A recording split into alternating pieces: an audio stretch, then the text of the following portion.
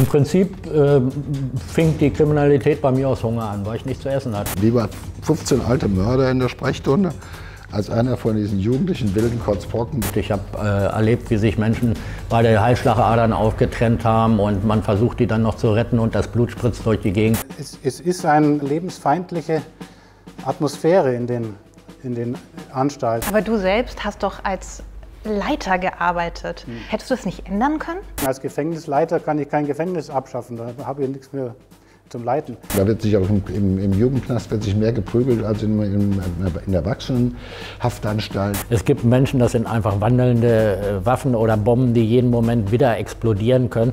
Und äh, vor, vor den Menschen muss halt die Gesellschaft geschützt werden. Was passiert denn aber, wenn wir es schön machen? Dann hat das ja gar keine abschreckende Wirkung mehr.